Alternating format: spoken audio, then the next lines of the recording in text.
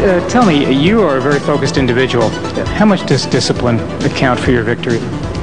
Uh, 110%. Uh, discipline's everything, and my whole lifestyle changes.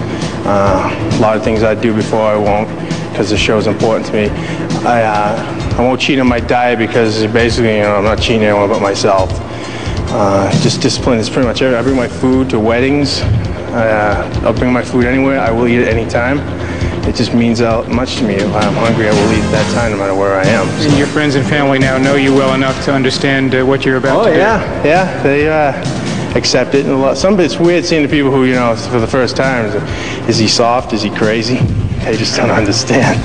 Well, of course, when you uh, achieve a victory like this, then it becomes into, into clear focus as to what you try to accomplish. Definitely, it's a definite payoff for dragging the Tupperware around. Uh, what got you started in the sport of bodybuilding, Paul? I mean, obviously there came a moment in time when uh, your options, which were probably many because you're obviously an athletic type, uh, suddenly focused on bodybuilding as the sport.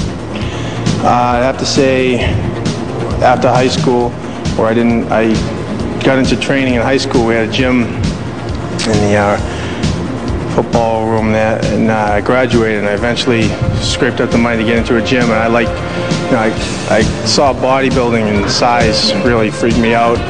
And it's funny that we're here today, Rich Gaspari's place, because I used to see pictures of Rich and just say, you know, that's what, I, oh, that's unbelievable. That gave me the drive to go from He there. inspired you. Yeah, yeah.